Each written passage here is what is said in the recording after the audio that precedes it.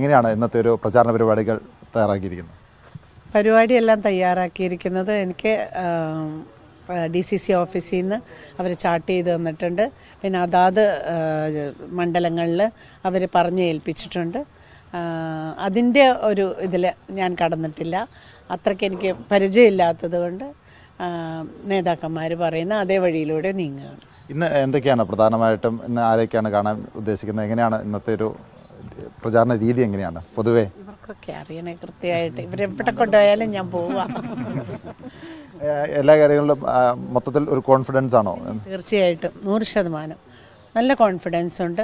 നമ്മൾക്ക് ആദ്യം തന്നെ ഇരുപത്തിനാല് മണിക്കൂറിനകം നമുക്ക് എന്ന് എന്നത്തേലും വ്യത്യസ്തമായിട്ട് നമുക്ക് ഒത്തൊരുമിച്ച് ഒരു തീരുമാനം എടുക്കാൻ കഴിഞ്ഞു എന്നുള്ളതിൽ തന്നെ നമ്മൾ മുന്നിലാണ്.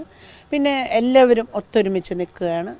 അപ്പോൾ നമുക്ക് തീർച്ചയായിട്ടും വിജയിക്കാൻ കഴിയും. ഈ പ്രചാരണ സമയത്ത് സ്വാഭാവികമായും മുന്നോട്ട് വയ്ക്കുന്ന കാര്യങ്ങൾ എന്താണ് ഓരോരുത്തരോടും മുന്നോട്ട് പറയാൻ ഉദ്ദേശിക്കുന്ന കാര്യങ്ങൾ എന്താണ് പി ടിയുടെ പി ടി പാതി വഴിയിലിട്ട് പോയ കുറച്ച് കാര്യങ്ങളുണ്ട്. ഈ ഒരു സ്ഥാനത്തേക്ക് എനിക്ക് നിൽക്കേണ്ടി വരുമെന്ന് ഞാൻ സ്വപ്നത്തിൽ പോലും ചിന്തിച്ചിട്ടില്ല. പക്ഷെ പി ടി എനിക്ക് തന്ന ആ മാർഗദീപം എന്നെ നയിക്കും.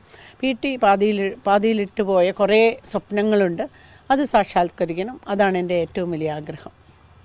വരും ദിവസങ്ങളിൽ കൂടുതൽ ശക്തമായ പ്രചാരണ പരിപാടികളിലേക്ക് കടക്കേണ്ടി വരും. അപ്പോൾ എതിർ സ്ഥാനാർത്ഥികൾ ആരെ എന്നുള്ളത് ഒരു ആശങ്ക ഉണ്ടാക്കും. ആശങ്ക എന്തായാലും ഒരു മത്സരം നടക്കുമ്പോൾ ഒന്നിലധികം സ്ഥാനാർത്ഥികൾ വേണം.